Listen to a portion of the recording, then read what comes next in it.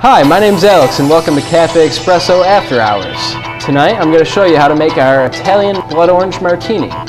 Okay, let's get started.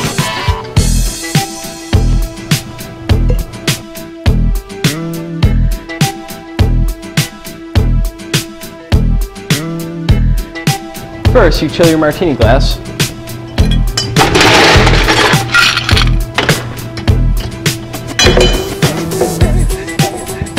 Then you fill up your tin with ice.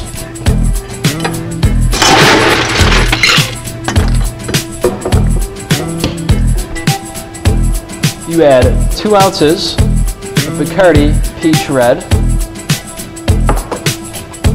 then Campari, which is a bitter Italian liqueur. It's a little bitter, so you don't want to put too much in there.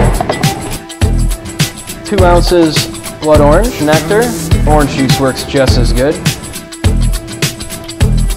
And also grenadine. And lastly, a splash of soda water.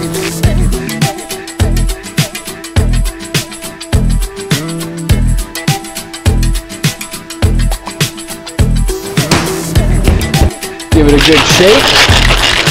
Want to be sure to break up the ice. Make the drink cold.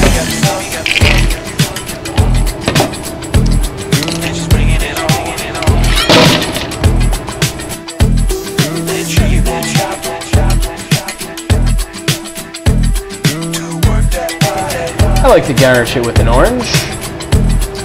And there you have it, our blood orange Italian martini.